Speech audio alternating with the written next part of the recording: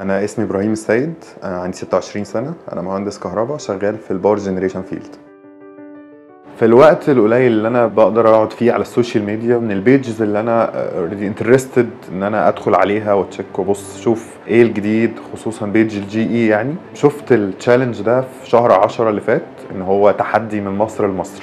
إنك تقدم حل ال challenge already موجود في مصر بال digital solution فده كان بالظبط اللي أنا شغال عليه.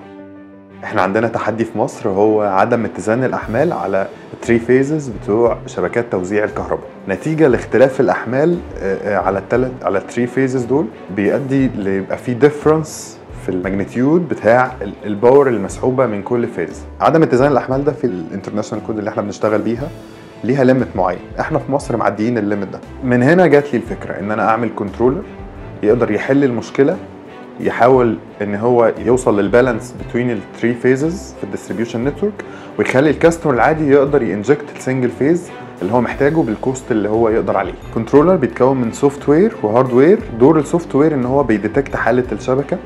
آه، بيعرف ال phase اللي عليها load عالي محتاجة إيه علشان يبعت control signal لل hardware عشان يعمل switching عليه. علشان نقدر نوصل ال limit بتاع ال imbalance اللي موجود already على ال distribution network لأقل من الكود أو أقل من ال peak اللي مسموح بيه. الحل ده هيفيد مصر وهيفيد معظم الدول اللي عندها المشكلة دي آه، بطريقين. أول حاجة إن هو هيضمن ال stability بتاعة ال power system ككل. تاني حاجة إن أنا بعمل enhancement لل power system كله.